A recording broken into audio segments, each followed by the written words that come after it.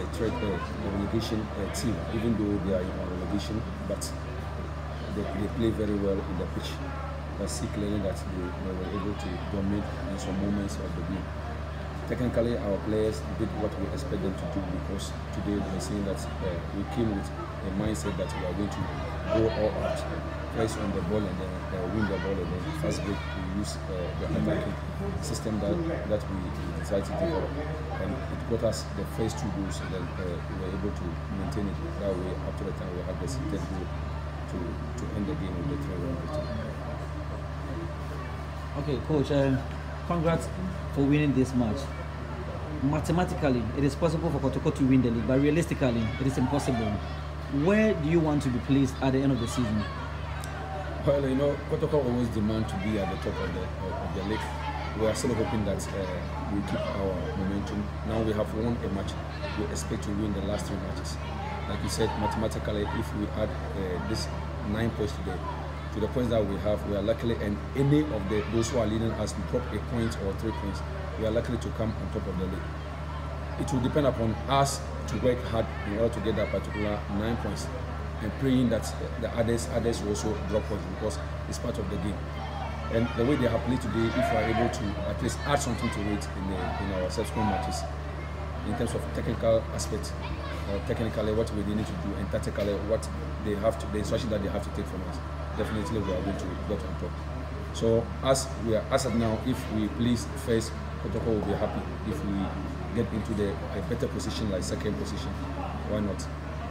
But I still have the belief that if we are able to win the, the, the rest of the three matches, we can get on top of the league.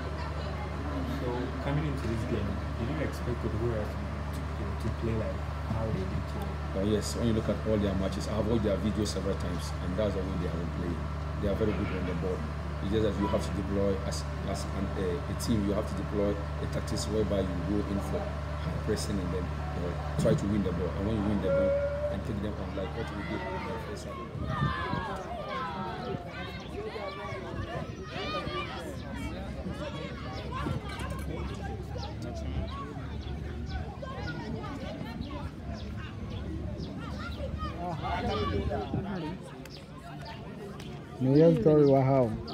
Ha o mepɛ sɛ mpɔ bɛhyɛ Você? nti na alasa no wa no Boko. mohamed alasa alasa ɛdɛ sharif mohamed na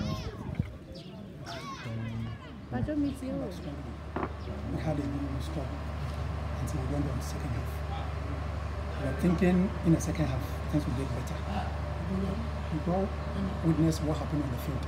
We played very well. Just that they had some few chances, they utilized those chances and they scored. And uh, it's part of the game. Football is full of um, mistakes here and there. And once you are making mistakes the opponent is capitalizing on the mistakes, they make good use of those chances and they score. Um, I would say that yeah, my team played well. Though we have lost to a great team, Kotoko.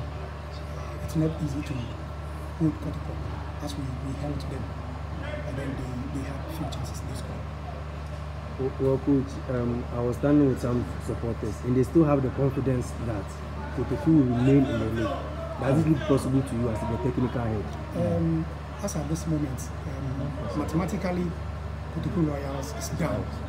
There is no way, even the three matches left, if we are to win all these matches, our points will not be able to lift us to where we are, to where everybody expected the team to be at this moment. Um, it's unfortunate that the, a newly promoted club has played all its own matches away from the home, and that has been a contributing factor. Yeah. Yeah, and finally, first half we were on top of the game. We were playing very well in all aspects. But the second half, um, I don't know if the players were. Is it over? I, how do I even put it? That they were a bit down, and Kotoko took over, and they scored two goals in the second half. What was what were the errors, Yeah. especially in the midfield? Kotoko is equally a good side. They had few um, quality players. So in the second half, we realized that they did few tactical changes, bringing in Blay, um, so Agadas together with uh, Sharif Mohamed, who came into played in the midfield, and that is why Kotoko dominated the midfield in the second half, and that was why they outplayed our, our team.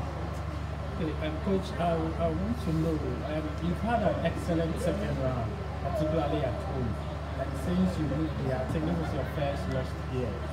Do you have the conviction that if you had played the season, if you had, if you had started the season playing at home and here, you could have saved your season? Uh, yeah, sure. I think that if we had come here earlier, especially in the first one, if we had started all our home matches here, I believe so strongly that uh, we could have survived. Okay, coach, uh, one question. You've been very instrumental ever since you joined the team. The team has been relegated. Are you going to join them or Um, currently, the season is not over yet. We are still on course. We still have about three matches to, to end the season. So it's until we finish the season that I'm able to decide as to whether we will still continue or maybe part ways. For now,